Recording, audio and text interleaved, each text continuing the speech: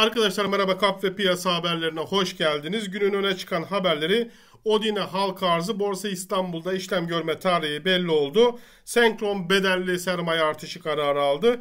Kar payını açıklayan, kar payı dağıtım kararı alan şirketler Birisi Çelebi, Migros, CRDFA, İsmen, Gelecek Varlık Yönetimi de e, ne kadar temettü ödeyeceğini ya da ödeyip ödemeyeceğini bizimle paylaştı. Gün sonu verilerine bakalım. BIST 100 günü 8929.88 puandan %2.43 artışla kapattı. Değişim puan olarak 211.77 puandı. BIST 100'ün işlem hacmi 84 milyar 53 milyon TL olarak gerçekleşirken en fazla değer kazanan sektör BIST bilişim %4.91 değer kazandı. Ee, en fazla değer kaybeden sektör BIST Spor %5.76 değer kaybetti. BIST 100'ün dolar bazlı değeri 276 dolar 6 sent. Fiyatı yükselen hisse senedi sayısı 436, fiyatı düşen hisse senedi sayısı 106, fiyatı sabit kalan hisse senedi sayısı 9. BIST 100'ün yabancı payı %36.49.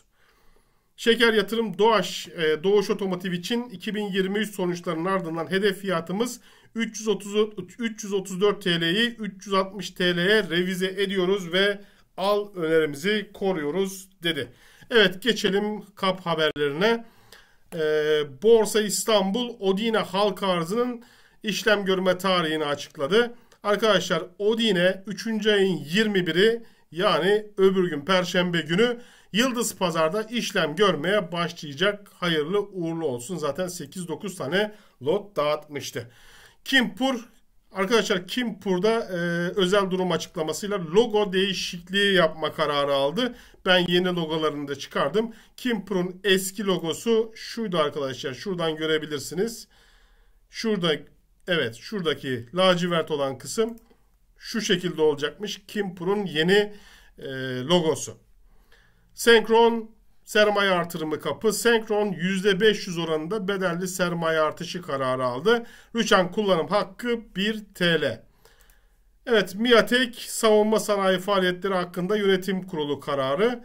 Şirketimiz yönetim kurulu şirketi merkezinde yaptığı yönetim kurulu toplantısında savunma sanayi alanında öncelik olarak yurt içi ve yurt dışı pazarlara hedefleyerek yeni şirket kurulumu gerçekleştirerek faaliyetler yürütmek, ARGE ve inovasyon yatırımları yapmak amacıyla yeni şirket satın alımı gerçekleştirmek, yerli ve uluslararası şirketlerle ortaklıklar kurmak ve üniversitelerle işbirlikleri yaparak nitelikli insan kaynağı gelişimine ve şirketimize kazandırılmasına katkıda bulunmak, uluslararası savunma sanayi ihalelerinde konsors konsorsiyumlara katılmak, konularında çalışmalar yürütmesi için yönetim kurulu başkanının yetkilendirilmesine karar verilmiştir.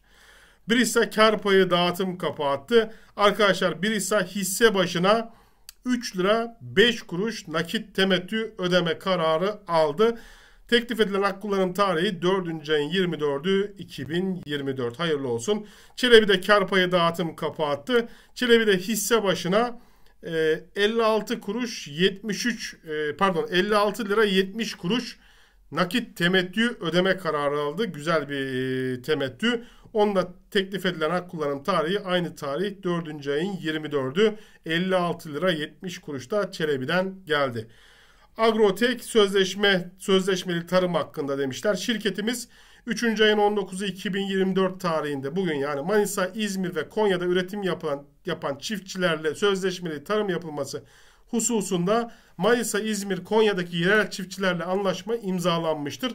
Söz konusu yapılan sözleşme kapsamında 96 milyon kilo yani 96 bin ton domates üretimi hususunda sözleşmeli tarımsal üretim yapılmasına ilişkin görüş birliğine varılmıştır. Taraflar Türk tarımında dışa bağımlılığı azaltmak ve yerli üretimi desteklemek amacıyla yapan yabancı girdilerin kullanımını düşürmek konusunda işbirliği yapacaklardır. Ülkemizin gıda az güvenliğini sağlamak amacıyla karşılıklı olarak çalışılacaktır demişler. Bu da işin yıkama yağlama kısmı. Migros kar payı dağıtım kapı geldi. Migros'ta hisse başına 6 lira 21 kuruş nakit temettü ödeme kararı aldı. Net olarak bu söylediğim rakamlar. Teklif eden hak kullanım tarihi 5. ayın 27'si 2024 brüt olarak da 6 lira 90 kuruş biliyorsunuz %10 stopaj var. Bu stopajlar e, GYO'larda bulunmuyor arkadaşlar. Agrotek İstanbul Teknik Üniversitesi ve İTÜ Teknopark AŞ ile işbirliği protokolü imzalanması. Bu kapı 3. ayın 18'i 2024 tarihinde atmışlardı. Ee, şirketimiz İstanbul Teknik Üniversitesi İTÜ Teknopark AŞ arasında imzalanmak üzere protokol çerçevesi yapılmıştı. Buna istinaden şirketimiz İstanbul Teknik Üniversitesi ve İTÜ Teknopark AŞ arasında üçlü bir protokol düzenlenmiştir.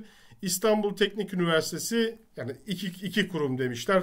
Hem Teknik Üniversite hem de Teknopark AŞ Agrotek Yüksek Teknoloji ve Yatırım AŞ arasında gerçekleştirilen üçlü işbirliği protokolü çerçevesinde İstanbul Teknik Üniversitesi Rektörü Profesör Doktor İsmail Koyuncu, İTİ Teknopark AŞ Genel Müdürü Profesör Doktor Bülent Güllüoğlu ve Agrotek Yüksek Teknoloji ve Yatırım AŞ Yönetim Kurulu Başkanı Hümeyra Keskin tarafından işbirliği protokolü imzalanmıştır. Teşke bu kapı biraz daha böyle e, ne diyeyim sade yapsalarmış da bu kadar da lafı uzatmasalarmış. Deminki yaptıkları gibi kapın altında şu şöyle olacak bu böyle olacak Allah'ı pullamaya gerek yok. Çünkü artık yatırımcı sizi tanıyor. Jantsa sermaye artırımı kapı. Arkadaşlar Jantsa'nın %693.24 oranında iç kaynaklardan bedelsiz sermaye artışı kararı vardı. Bunun için SPK'ya başvuru yapılmış. Burada da söylemişler. Gürsel Şirketimizin Ürdün'ün Amman şehrinde toplu taşımacılık hizmeti vermekte olan iştirakinin 2032 yılına kadar devam sözleşmesi kapsamında daha önce 271 adet olan araç sayısına 48 adet dizel otobüs ve 15 adet elektrikli otobüs ilave edilerek toplam araç sayısının 334'e çıkarılmasına karar verilmiştir. Yeni otobüslerin devreye alınmasıyla bu büyümenin önümüzdeki 9 yıllık kontrat süresince ciromuzda yaklaşık 65 milyon dolar artış yaratacağını planlamaktayız demişler. Ee, orada işleri büyütüyor demek ki. CVK Maden şirketimiz daha önce atmışlardı bu kapı. E, şirketimizin %96.21 oranda bağlı ortaklığı Hayri Ögelman Madencilik AŞ yönetim kurulunca halka arz süreci için gerekli çalışmaların ivedilikle başlatılmasına karar verildiği kamuoyuna bildirilmişti. E, ilgili karar kapsamında Yönetim Kurulu bugün tarihinde almış olduğu karar uyarınca şirket paylarının halka açılma e, açılma esaslı e, amaçlı esas sözleşme değişikliğine ilişkin olarak kayıtlı sermaye sistemine geçiş e, sözleşme tadil izin başvurusu onayı bugün SPK kuruluna sermaye piyasası kuruluna iletilmiş. Yani Hayri Ögerman madenciliği e, halka arz edecek arkadaşlar. Ama tabi Hayri Ögelman madenciliğinin içinde de ne var acaba? Onları da gelen e, onaysız ilk ilettiği izahnamede zaten belli olur. CRDFA Credit West Factoring AŞ kar payı dağıtım kapattı. Maalesef bedelsiz ya da nakit temettü kararı yokmuş. Ostim Güneş Enerji Santrali yatırımı hakkında yönetim kurulumuz 19 Mart 2024 tarihinde toplanarak 2 megawata kadar güneş enerji santrali yapımı, e, yatırımı yapılması ön görüşmelere başlanmasına iyi niyet protokolü imzalanması için genel müdürlü, müdürlüğe yetki verilmesine karar verilmiştir. İnşallah borsadaki şirketlere verirler. Netaş yeni iş ilişkisi şirketimiz Türk Telekomünik Türk Telekomünikasyon AŞ'den 2 milyon 115 bin ABD doları tutarında LTE router siparişi almıştır. Miatek MIA teknoloji yapay zeka destekli tarım devrimi demişler. Dünyada giderek önemli önemi artan tarım alanında etkin kaynak kullanımına yönelik olarak tarımda kaynak ve süreç yönetiminin sensörler üzerinden alınan verilerin yapay zeka destekli algoritmalar üzerinden kıymetlendirilerek birim alanda maksimum veri almaya yönelik çözüm üretimi için tarım alandaki yetki alan uzmanlarımız ile ortak çalışmalara başlanmıştır.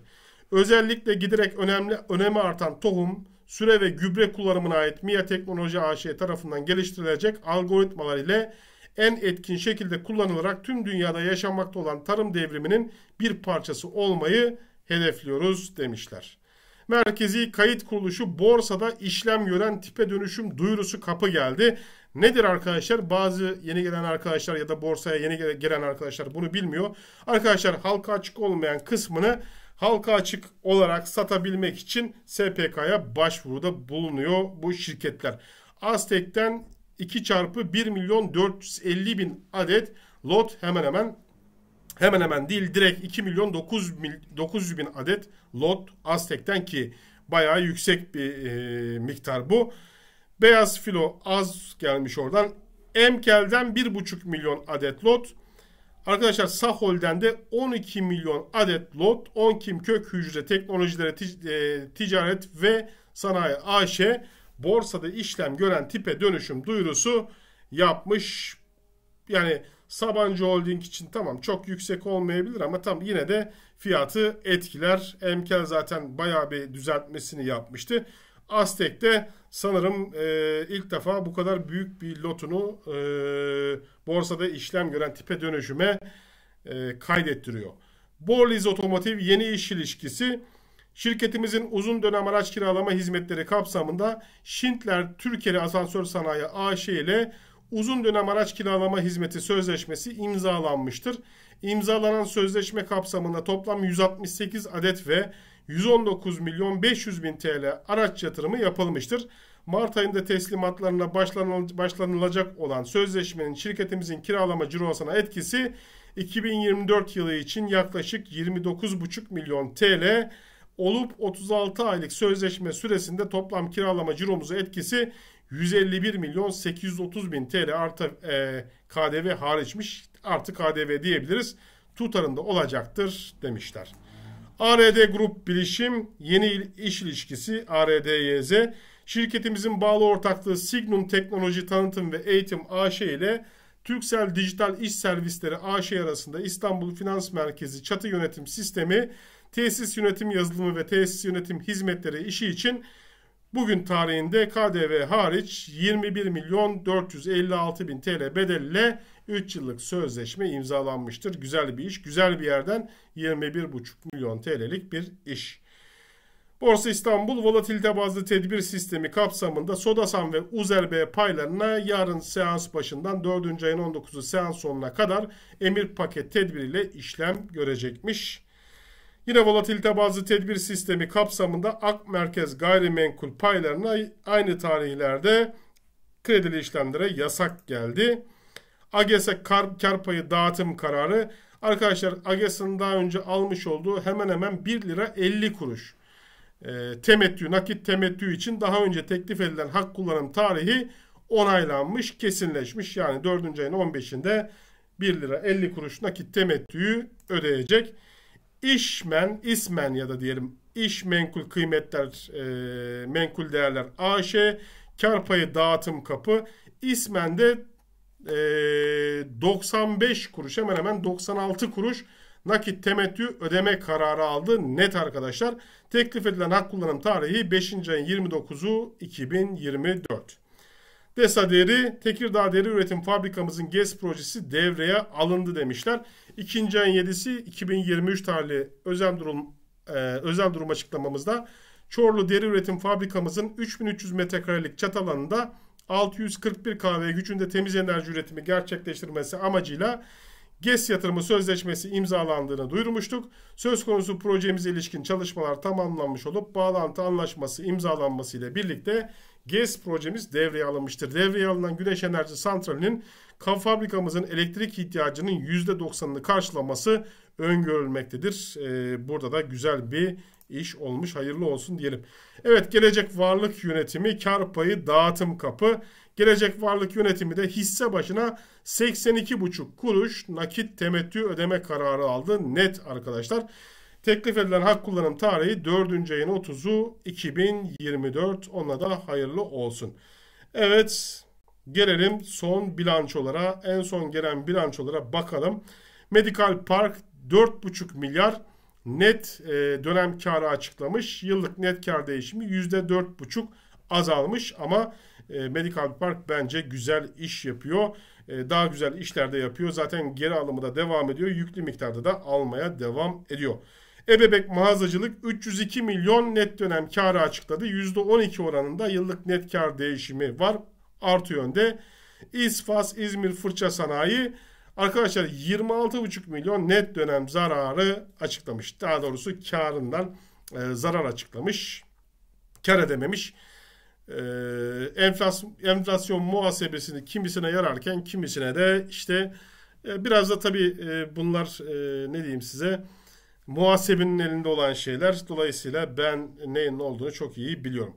İsmen iş yatırım menkul değerler 5 milyar 541 540 e, milyon net dönem karı açıkladı. Yıllık net kar değişiminde %21,5 oranında artırdı. Ee, arkadaşlar ismini ben daha önce Twitter'da söylemiştim.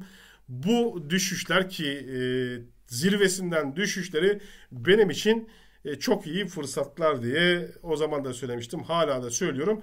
Güzel işler yapmaya, güzel paralar kazanmaya devam eden bir şirket istediği kadar baskılasınlar. Ataköy Patates 295,5 milyon net dönem karı açıklamış. %68 oranında yıllık net kar değişimi eksi yönde. Tap Gıda 2,5 milyar hemen hemen 2 milyar 458 milyon net dönem karı açıklamış. %32,5 yıllık net karını artırmış. Brisa bunlara baktık mı hatırlamıyorum ama yine de bakalım. Brisa 3 milyar 986 milyon net dönem karı açıklamış. %58,5 oranında Brisa artırmış yıllık net kar değişimini. Migros'ta 8 milyar 829 milyon net dönem karı açıklamış. Net e, karını yıllık %3,5 hemen hemen azaltmış ama hiçbir önemi yok bence. Kabuk değiştiren bir şirket. E, İTGEO'ya zaten bakmıştık. Evet arkadaşlar Türkiye'ye geldim. Baba ocağındayım şu anda. Dolayısıyla e, bu kadar geç video yapmamın nedeni o kusura bakmayın. Herkese hayırlı geceler, bol kazançlar.